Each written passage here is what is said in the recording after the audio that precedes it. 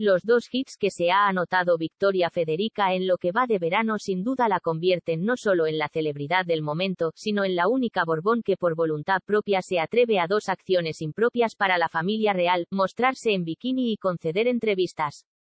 Dos imperdibles que sin duda ha sorprendido a muchos y, especulamos, a su madre, la infanta Helen. La socialité intenta labrar su propio camino y su apellido le abona al menos una buena parte del recorrido por transitar, pero, para ella, hay cierta cuota de sacrificio que está dispuesta a afrontar para alcanzar el sueño de dedicarse al rubro de la moda, tal como su padre Jaime de Marichalar.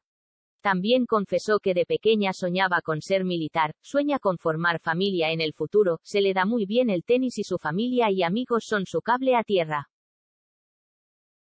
Así se muestra la Benjamina de la infanta Elena, a quien, por cierto, honró al comentar que ella fue quien le cultivó el amor por el campo y la hípica y de allí surgen sus mejores recuerdos familiares.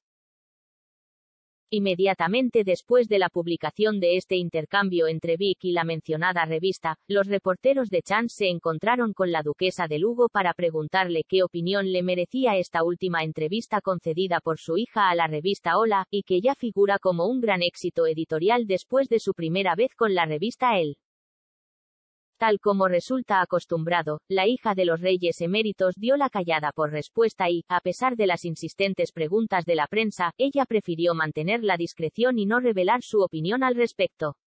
Algunas voces han difundido que, en principio, la infanta Elena no estuvo del todo de acuerdo con la decisión de Victoria Federica de saltar como figura pública, pues prefería que mantuviera un perfil más bajo y se mantuviera enfocada en sus estudios, pero al parecer ha cedido un poco más ante el sentido de responsabilidad que la joven ha demostrado al poder equilibrar sus estudios con su rutilante ascenso en la esfera social y sus constantes viajes internacionales.